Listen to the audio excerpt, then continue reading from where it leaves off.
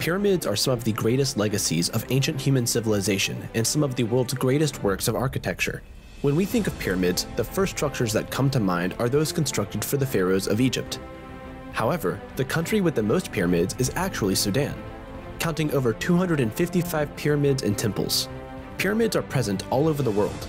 These pyramids range from tombs to temples. Some are even believed to map out the stars. The most famous pyramids in the world are the three pyramids of Giza in Egypt.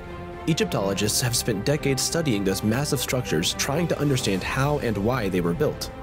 They believe the three pyramids of Giza were fully covered in smooth and shiny casing made of limestone, and to date, most Egyptologists agree that their purpose was to be tombs for the pharaohs. The pyramids were believed to be vessels to guide the pharaohs into the afterlife. They contain multiple inner chambers with hieroglyphics that archaeologists believe are directions to ensure the safe journey of the pharaoh to the afterlife. But their unique architecture has left archaeologists puzzled and wondering if there is much more to those pyramids than meets the eye.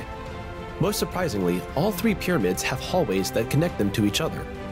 To our current knowledge, the world's oldest pyramid is the Step Pyramid of Djoser, also in Egypt.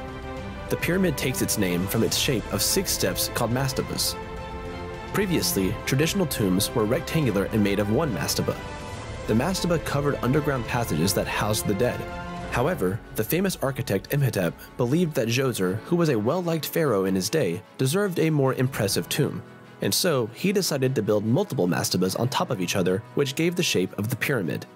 The world's largest pyramid is the Great Pyramid of Cholula in Mexico. Visitors nowadays can see a church built on top of it, confusing it for a very large hill instead. But in fact, it is one of the largest man-made structures ever and is almost twice the size of the Great Pyramid of Giza.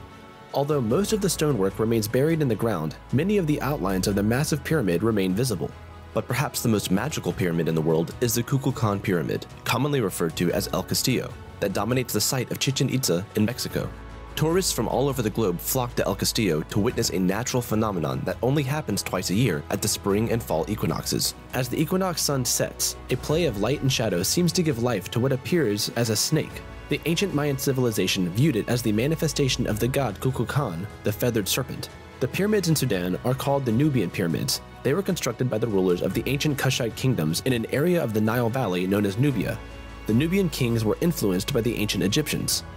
The first pyramids in Sudan were built in 751 BC and used as tombs for the kings and queens and wealthy citizens of Napata and Meroe. Archaeologists have so far discovered over 255 pyramids built across four royal pyramid field sites in Nubia. Pyramids are shrouded with mystery, and they have always fascinated archaeologists. Some believe that numerous pyramids are hiding somewhere in jungles waiting to be discovered.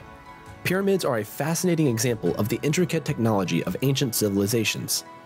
Some conspiracy theorists believe that ancient civilizations were assisted by aliens who helped them build these massive and brilliant structures. How do you think these massive structures were created? Share your thoughts in the comment section.